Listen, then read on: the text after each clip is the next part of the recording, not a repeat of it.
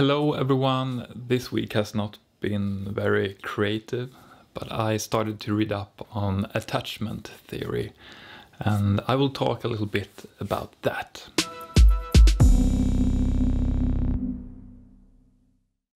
So this week I have not had a prioritized goal of the week.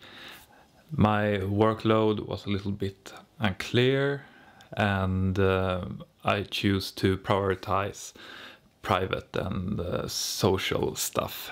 So when I first thought this episode through, I thought that I hadn't been working with any process, but uh, that's actually what I have been doing.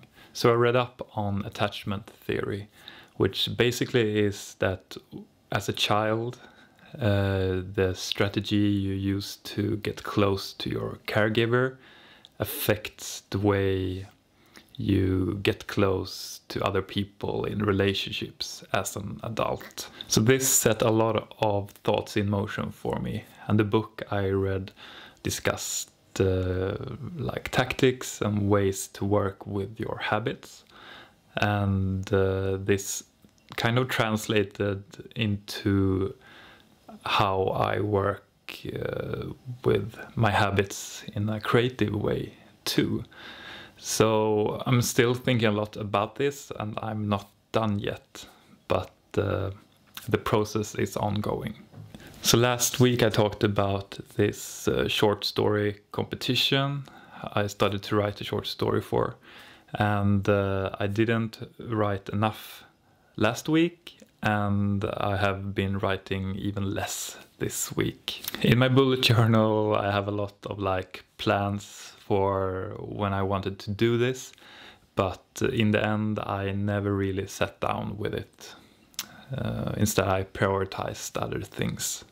For the film, uh, I realized that uh, this attachment theory uh, could be a very interesting tool to work with uh, in my prepper romantic comedy to get a little bit more depth and make the characters more realistic. So whenever I get time to sit down with that one, uh, I will see if I can use attachment theory to work with it. For the record, I have not done much this week. Game wise, I've been gaming a lot. I'm not sure if that has really helped my uh, game goal much. Uh, I picked up XCOM 2 again, which is a sci-fi tactical turn-based um, strategy game. So for an evaluation, this week has been uh, the worst one in a while creatively.